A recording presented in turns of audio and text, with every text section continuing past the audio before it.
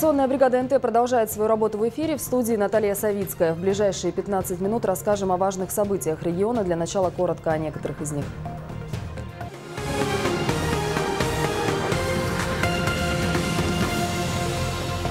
Наденьте маски или готовьте деньги на штраф. Рейды по соблюдению санитарного режима будут продолжаться до конца праздников. Не успокоятся и потом.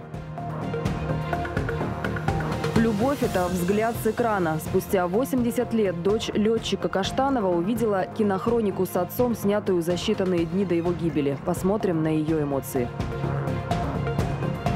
Голосуй или проиграешь. Участие в выборе территорий по программе формирования комфортной городской среды приняли почти 30 тысяч жителей области. Узнаем, какие проекты идут пока в лидерах.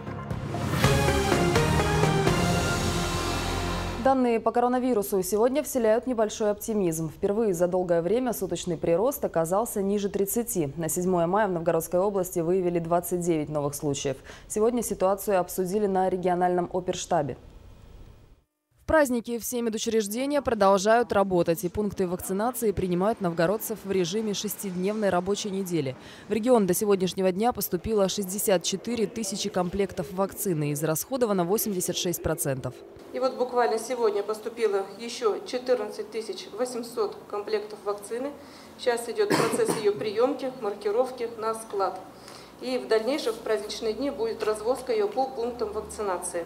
В Великом Новгороде 4 мая открылся еще один пункт вакцинации на территории физкультурного диспансера. Продолжают работать выездные бригады у торгового комплекса «Мармелад». А в самих торговых центрах проходят ежедневные рейды, цель которых напомнить новгородцам о необходимости носить маски. Принципиально важно, чтобы владельцы пунктов общественного питания, торговых центров а, обеспечивали соблюдение масочного режима. И вот эту задачу с них никто не снимет, и контроль должен быть постоянным безусловно. Поэтому прошу вас продолжать вот с такой же активностью всю эту работу. Что касается мероприятий, посвященных Дню Победы, все они состоятся, но не массово и с соблюдением рекомендаций Роспотребнадзора. В регионе их запланировано более 200. Тем временем рейды по проверке масочного режима продолжаются, и сегодня опять инспектировали торговые центры. Регулярные рейды первоначально носили профилактический характер, но с недавнего времени, за тем, как жители соблюдают масочный режим и социальную дистанцию, стали следить строже. Сейчас мы понимаем, что и бизнес уже знает все требования, и э, судебная практика привлечения к административной ответственности говорит о том, что другого способа, э, как э, действовать жестко с помощью судебной структуры, к сожалению, самосознание граждан э, к другому выходу не приводит. На входе в торговый центр «Русь» покупателей информируют об обязательном использовании средств индивидуальной защиты. Большая часть в масках заходит, сразу там за воротами одевают.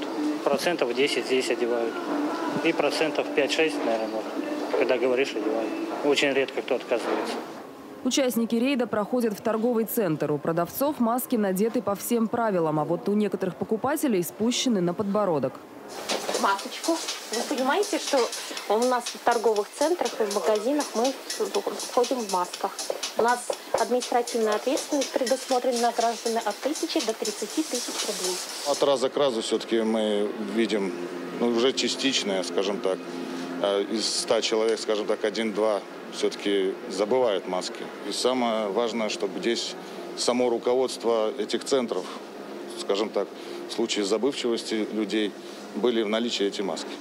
Один из ста все же нашелся. Нарушительница санитарного режима отказалась предоставить свои данные для составления протокола. Продолжить общение девушке придется в отделении полиции. Профилактические рейды будут проходить ежедневно до конца выходных. Впрочем, и в остальные дни лучше не забывать про средства индивидуальной защиты в общественных местах. В области начались торжественные мероприятия, посвященные 76-й годовщине Победы. Сегодня состоялось возложение венков к монументу на новой автодороге Нева в районе Мясного Бора. Трасса М-11 – современный инженерный проект, который может себе позволить только великая страна. Совсем не случайно именно здесь, на 563-м километре, вот уже год возвышается памятник погибшим при защите Отечества. Ведь сегодня магистраль проходит там, где в 40-е годы шли бои. Люди в болотах без каких-то дорог держались за каждый клочок русской земли. Стремились победить и обеспечить для нашей страны, для своих детей, для своих внуков и правнуков хорошее, светлое будущее. Сегодня памятник этим солдатам это не только вот этот объект, а вся дорога это памятник тем, кто сохранил нашу страну. В церемонии приняли участие юнормейцы и поисковые отряды, а также представители государственной компании «Автодор», благодаря которой в Новгородской области появился этот мемориал. Такой памятник можно было сделать только вместе, вот по большому счету, потому что от принятия решения до открытия у нас прошло там полгода. И все друг другу помогали, потому что, наверное, вот самое главное, что, знаете, вот банальная вещь, нет семьи в стране, где бы кого бы не коснулась эта война. Руководство «Автодора» планирует развивать мемориал и дальше. В июне на памятнике появятся бронзовые таблички с названиями всех войсковых частей, принимавших участие в боях на этой территории. А еще на днях на площадке отдыха открывается информационно-туристский центр, в котором путешественники смогут получить информацию о Новгородской области. Второй подобный центр будет расположен на въезде в регион со стороны Твери.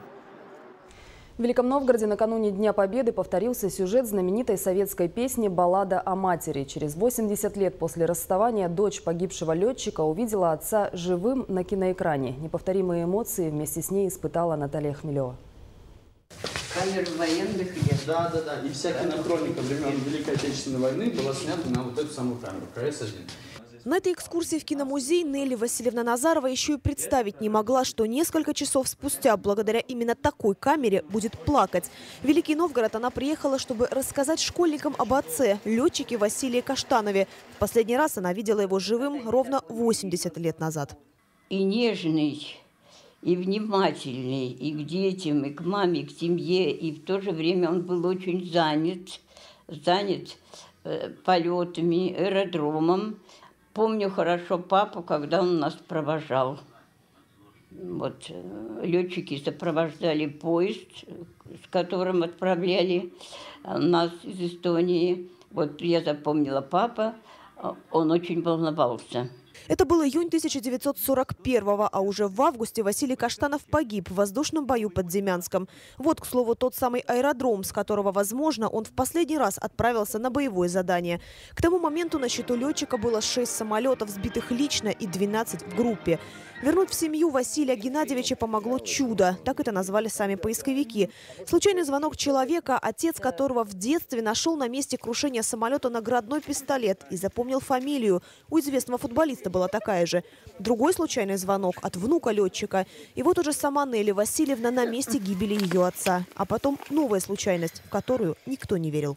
Долгое время в семье Каштановых хранились только фотографии Василия Геннадьевича, газетные вырезки и письма его фронтовых товарищей. Но теперь все будет немного иначе, ведь сегодня родственникам капитана, а главное самой Нелли Васильевне, подготовили неожиданный сюрприз.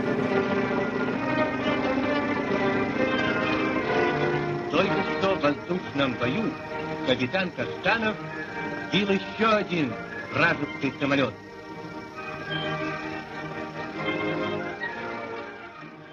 Да, это был папа.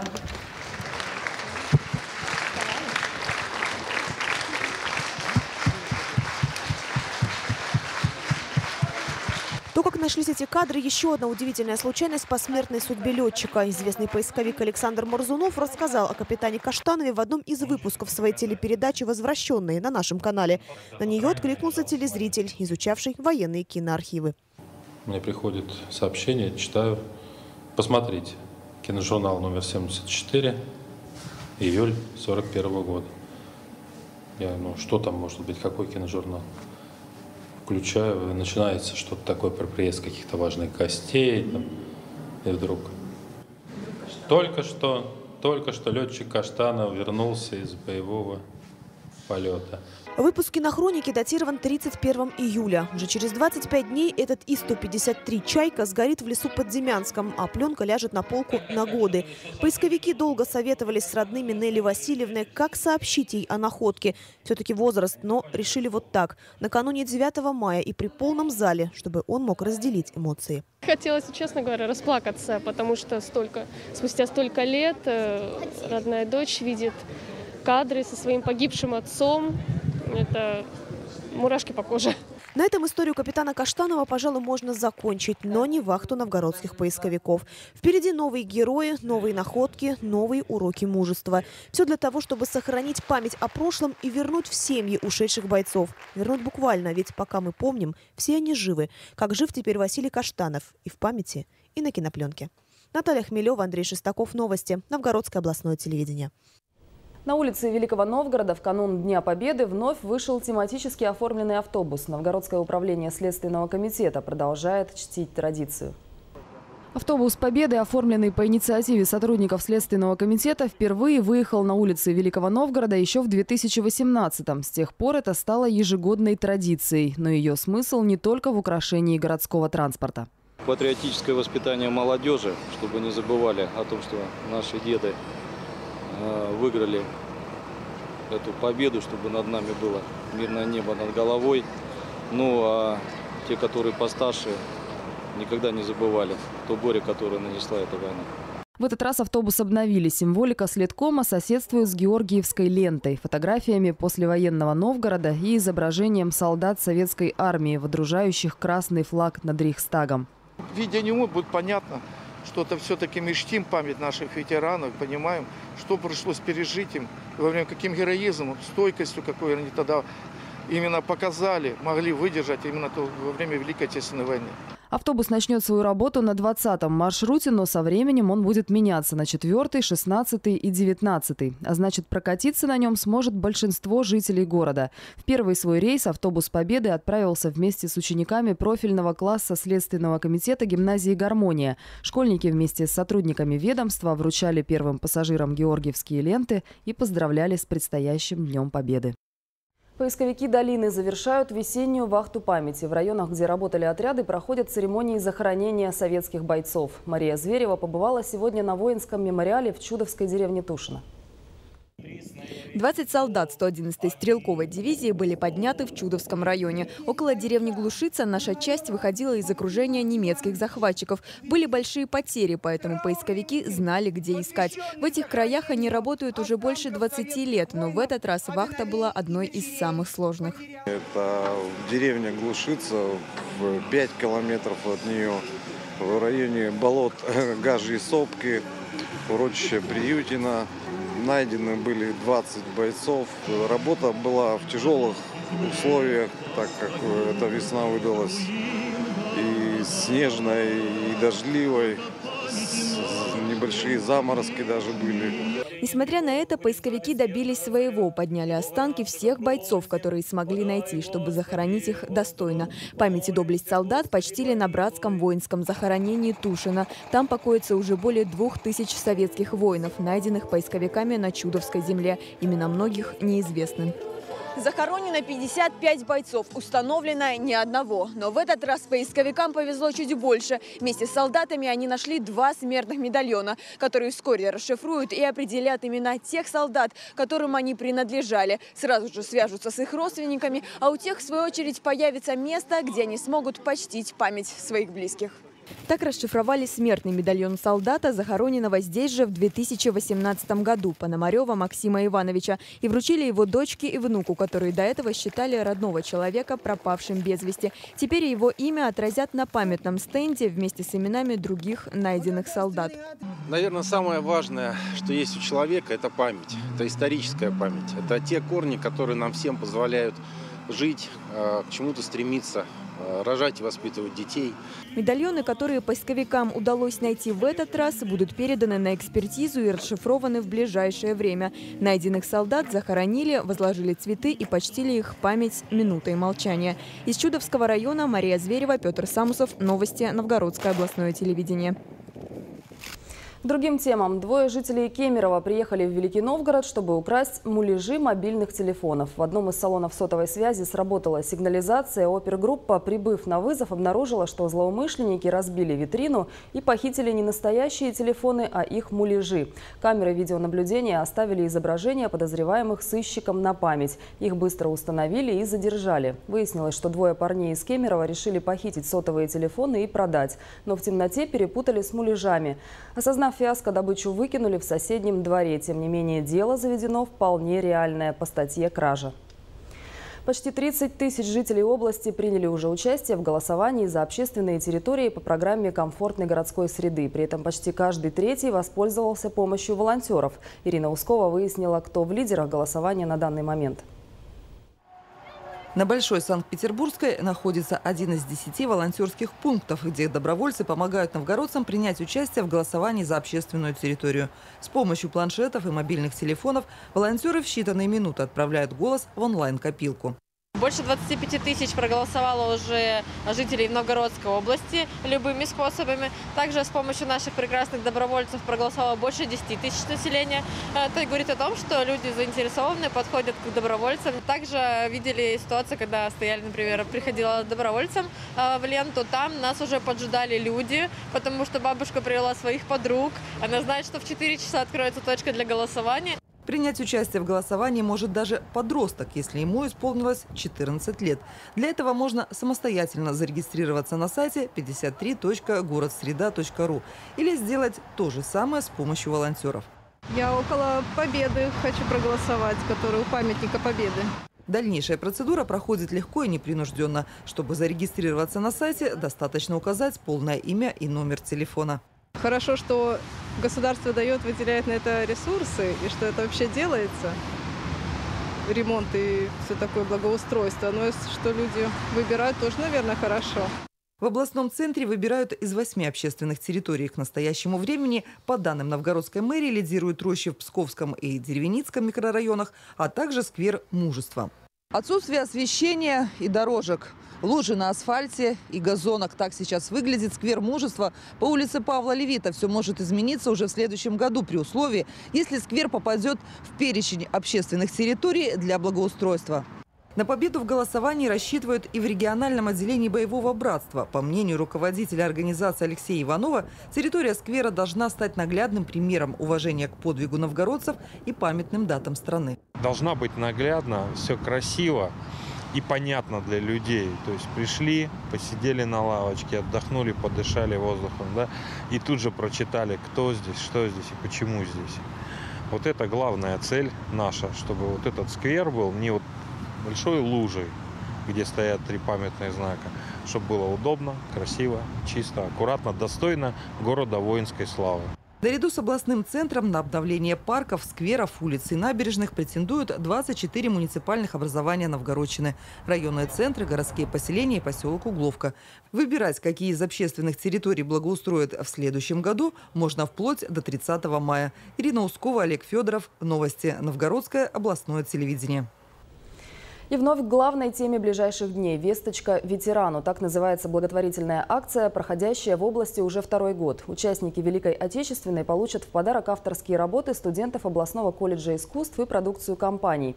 Проект Кристины Данченко, директора некоммерческой организации «Инициативы культурного развития регионов», поддержан правительством. Анна Вихрова подробнее. Студенты колледжа искусств тщательно выводят линии на глиняных фигурках. Несколько месяцев они трудились, чтобы каждый ветеран области получил свою голубку – символ мира. Для молодых людей это возможность стать сопричастными к празднику, выразить через искусство свою благодарность героям. Моя прабабушка, она сейчас живая, и она маленькая помогала медсестрам лечить солдат. Вот, еще у меня прадедушка, он э, дошел до Берлина и остался живых. Авторские сувениры, картины и панно соцработники и волонтеры развозят по адресам. В этом году акцию также поддержали спонсоры – компании «Сплат» и «Медовый дом». Семен Абрамович ждет гостей с самого утра. На нем парадный китель со всеми его медалями и боевыми наградами. Самое ценное для меня – это вот, вот эта медаль. Так. За отвагу эту медаль я получил за взятие ценного языка. Но дело не в наградах, а дело в том, что мы выполнили свою задачу. Мы защитили Родину. Семену Абрамовичу сейчас 95 лет, а с черно-белого портрета смотрит совсем молодой мальчишка. Ему еще не исполнилось 18, когда он начал оббивать пороги военкомата и буквально ходить по пятам за начальниками с просьбой забрать его в армию. Добившись своего, отправился на Карельский фронт. Это тяжелейшая, труднейшая война. Таких войн не было, как Великая Отечественная война. Но мы выдержали. Все вместе выдержали. А сейчас его главная поддержка и опора – любимая жена, с которой они вместе уже не одно десятилетие. Ветеран до сих пор называет ее своей красавицей. Поясняет, что на другой бы и не женился. Впрочем, и себя Семен Абрамович до сих пор считает видным мужчиной. Вот так супруги Рапопорт и живут в любви и согласии, имея единственное желание на двоих – чтобы война больше никогда не повторилась. Анна Вихрова, Олег Федоров. Новости. Новгородское областное телевидение. Напоминаем нашим телезрителям, что 9 мая на НТ большой праздничный эфир. Вы увидите главные моменты. В 8.30 в Новгородском Кремле состоится торжественное построение и возложение венков к мемориалу «Вечный огонь славы». Мы готовим прямую трансляцию. Далее наша студия объединит события всего дня в единую программу. Вы увидите полюбившиеся концерты во дворах, поздравления ветеранов, включение из районов области. Гостями станут участники войны, поисковики, волонтеры. В 15 часов телезрителей ждет трансляция всероссийской всероссийской онлайн-акции «Бессмертный полк», а вечером в 19 часов состоится премьерный показ первого новгородского спектакля о Нюрнбергском процессе «И воздастся вам». Проведите 9 мая вместе с НТ. Далее о погоде на выходные. Я прощаюсь с вами и желаю хорошего вечера.